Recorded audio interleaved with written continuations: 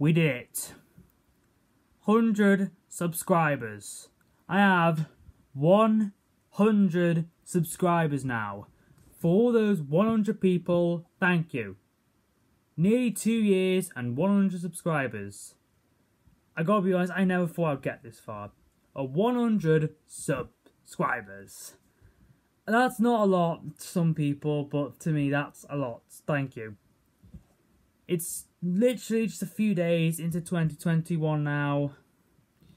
So I've got a challenge. Let's see if I can get 200 subscribers by 2022. I doubt it personally, but we'll see. Because this year I got 50 subscribers and also 100. I'm talking about 2020 when I say this year. I mean, I was at 98 or something like that by the end of the year, so almost.